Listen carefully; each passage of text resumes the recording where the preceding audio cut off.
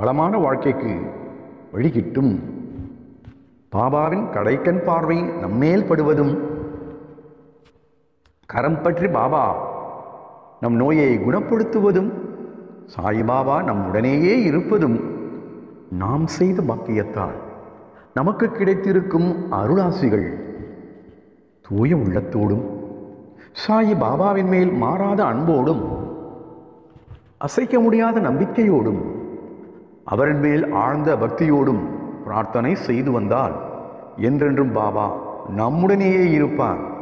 ஏனென்றால் கள்ளம் கபடமில்லாத தூய உள்ளம்தான். சாயிபாபா என்றென்றும் விரும்பி வாழும் வீடாகும். ஆகவே நம் மனதை எப்போதும் தூய்மையாக வைத்துக்கொள்ள வேண்டும். அப்போது சாயிபாபா எப்போதும் உங்கள் தூய உள்ளத்தில் குடியிருந்து ஆசி வழங்கி காத்திடுவார். இதுவரை நடந்ததெல்லாம் நன்மைக்கே. இனி நடக்கப் போவதும் நன்மைக்கே. எனவே இனி எல்லாம் நல்லதே நடக்கும். நீ வேண்டிக் கொண்டது எல்லாம் நிறைவேறும். நீ கேட்டதெல்லாம் கைகூடி வரும். சாயி பாபாவின் அன்பும் பாசமும் பெற்ற செல்லப்பிள்ளை. உன்னை பாபா ஒருபோதும் கைவிட மாட்டார் வளமோடு வாழ வைப்பார்.